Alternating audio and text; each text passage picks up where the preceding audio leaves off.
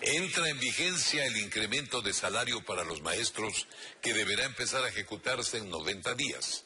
Ahora el gobierno tiene que desembolsar 491 millones de dólares al año para cumplir con la ley y la sentencia de la Corte Constitucional.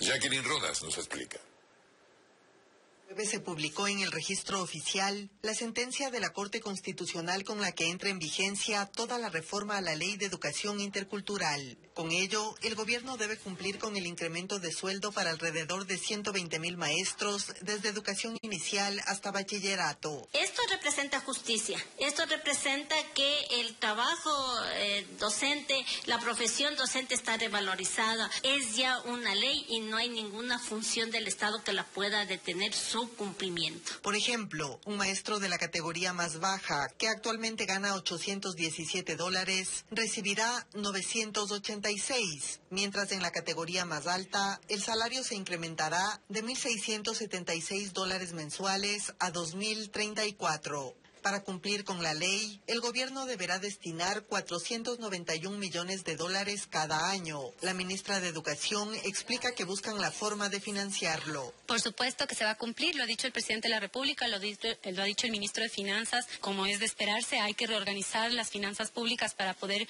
efectivamente colocar, sobre todo en el presupuesto del Estado para el año 2023, los recursos necesarios para incrementar el presupuesto de remuneraciones de docentes. El incremento salarial debe empezar a pagarse en 90 días contados desde este jueves.